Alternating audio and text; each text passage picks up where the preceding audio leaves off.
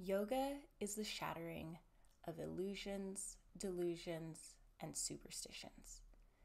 That is a quote by Yogi Hari. Satnam, Om Shanti. Welcome to Can I Get a Satnam? I'm your host, Sacha.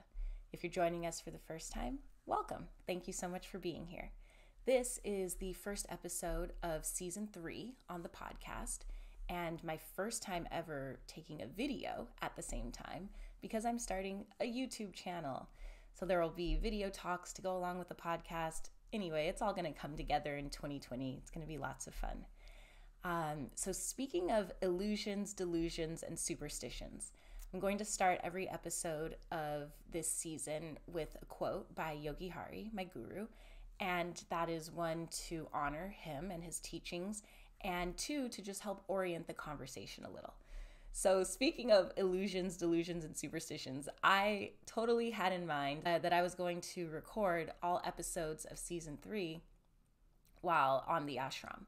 I just got back from a 300 hour teacher training course, an advanced course, and the schedule was so intense. We had two Saturdays off um, as far as the afternoon, so it's a couple hours off maybe 10 hours total off from the whole three weeks. And I was like, yeah, I'm going to record my podcast so that it can be live from the ashram. It's going to be so awesome. I had this whole illusion and vision of how I thought it was going to go. And I did try and record a bit, but you know, part of ashram life and being in a training is that you're with a big group of people. So there were almost 20 of us going through this training together. And that means you're pretty much living in bunk beds with a roommate, doing communal meals and activities. And so personal quiet time is really hard to come by. And then even when it is quiet, I didn't want to talk and record a podcast and be disturbing everybody else. So I had to let that one go. I did have a chance to speak with Yogi Hari about my project and told him all about this Satnam podcast and its short talks on yoga philosophy. And he he seemed to like it, which I was really excited about. And he said that one of the things I should talk about first, which is why we're here today, is about happiness, real happiness. Everybody wants happiness. And when we first start realizing what we want, sometimes happiness seems like it's wealth or power, right? These things that we can gain through our work and our efforts. And we don't realize that in trying to gain wealth and power, and please our own senses, that we're actually trading our health for wealth and success. And that creates stress, and that's the opposite of happiness. So Yogi Hari says happiness comes from peace, and peace comes from peace of mind. Peace of mind is something that we can cultivate in ourselves by practicing yoga, by practicing meditation, by being around people who support our growth. That's what right association means. Um, by practicing right discrimination, right? Not just believing absolutely everything that's told to us or recommended to us, but actually using our discrimination and discernment. That helps to cultivate peace of mind. In fact, he said to talk about how all five aspects of hatha yoga, which is the physical practice of yoga, that's what a lot of people think of when they say, I, I do yoga they're kind of saying I do hatha yoga if they're going to classes and stretching and exercising. If you listen to my episode on what kind of yoga do you practice, you can learn more about those different systems.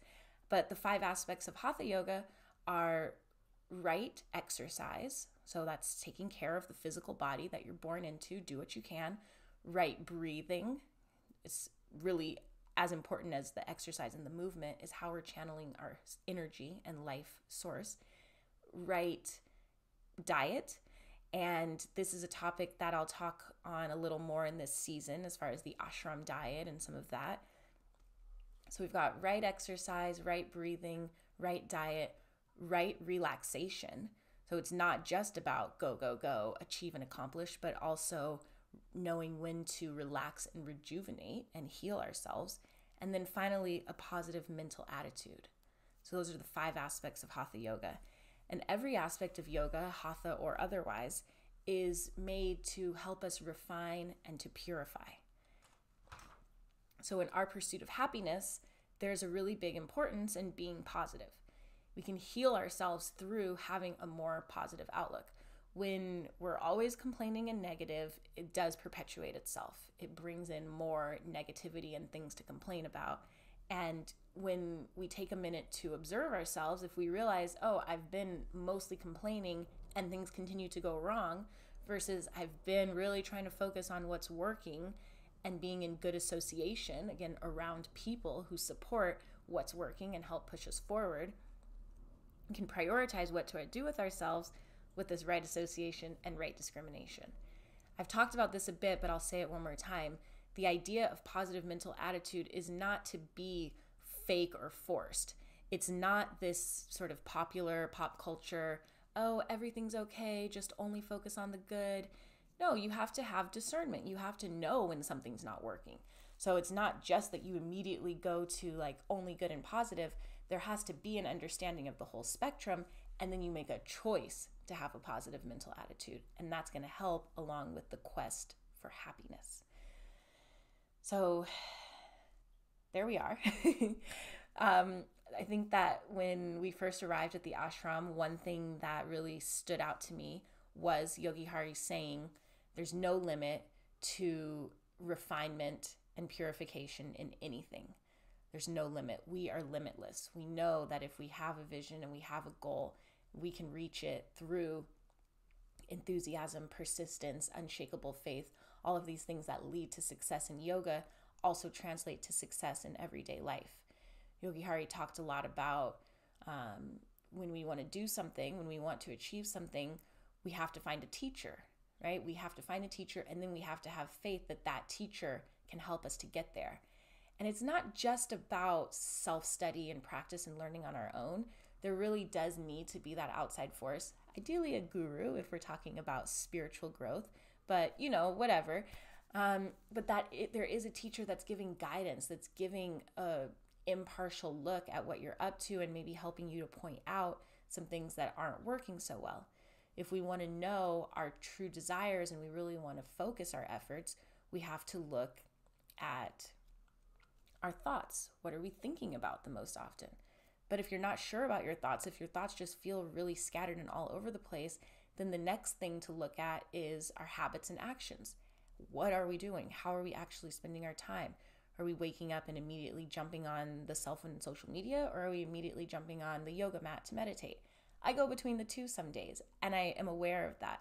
So I'm using my tools of yoga and my training to look at my own habits and actions, look at my own thoughts, and then look at my desires and see that my desires are pushing me closer to a realization of my true nature, the God within me, the shattering of illusions, delusions, and superstitions in favor of peace of mind and true happiness. So, those are some quick teachings from Yogi Hari. His ashram does trainings all year round. I have shared the link below to go check it out if you're interested. I highly recommend it. Again, going through the next nine episodes, I'll be touching on different aspects of ashram life. If you have any questions, please let me know. I can always be reached at sachaislive at gmail.com. And I really look forward to going deeper into some of these yoga concepts. Wishing you lots of happiness, lots of peace, and peace of mind. Sat Nam, Om Shanti. Bye.